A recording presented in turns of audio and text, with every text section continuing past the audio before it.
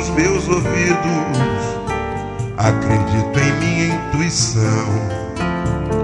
Rococó barroco eu não distingo, mas percebo a sua erudição. Tanta confusão nesta prosopopeia, marcando estes fatos, Gregório de Matos, quero iluminar os meus sentidos. Cláudio Manuel me inspirou para lapidar meu arcadismo. Traz pra academia o meu mirô. Nossa história segue o seu trajeto audaz. O romantismo evoca o que o povo faz.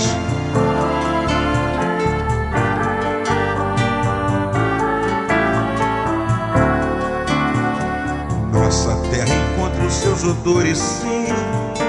Poetas mil de um povo afim. Com a mão e a luva eu peço bis. Mil vivas a Machado de Assis. Com a mão e a luva eu peço bis. Mil vivas a Machado de Assis. O xixo no cortiço é motivo passional. E o foco é o povo mostrando seu natural. O modernismo chega convincente, os versos são escritos livremente. O dia a dia é o tema central. Lalaiá, contando a nossa história tão ligeira. Se ela é real ou verdadeira. Viva a literatura brasileira!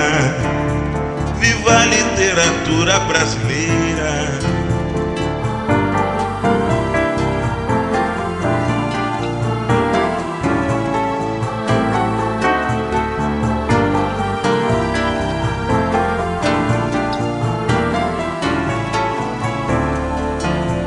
O xixo no cortiço é motivo passional.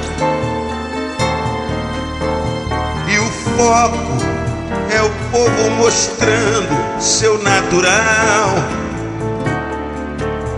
O modernismo chega convincente, os versos são escritos livremente. O dia a dia é o tema central.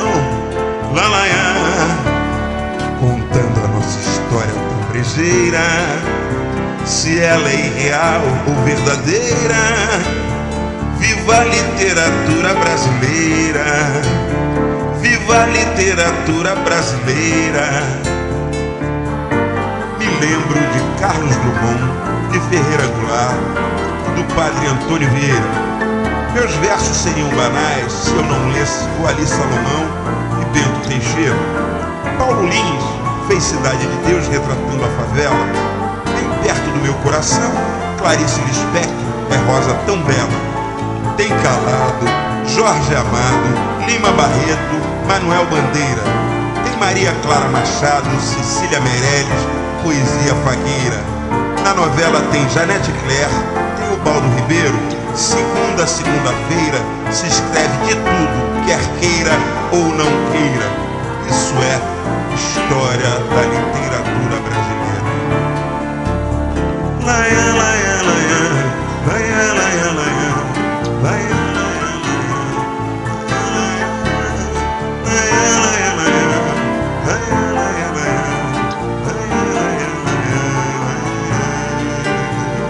Viva a literatura brasileira!